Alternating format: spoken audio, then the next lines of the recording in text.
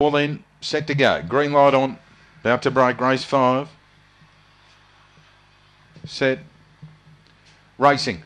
Cracker Jack Dack only fair to begin, winning at Awesome Cove Beauty Bale. Match motors early to Techie Avedia, BJ the DJ, Cruisy's Luck. And they're followed by Dinah Fat Bob, Crackerjack Dack last, around it Cowboy Jerry. Awesome Cove swept to the front mid race over BJ, BJ the DJ, Beauty Bale. Five Dinah Fat Bob, Techie Avedia, but Awesome Cove turned in front.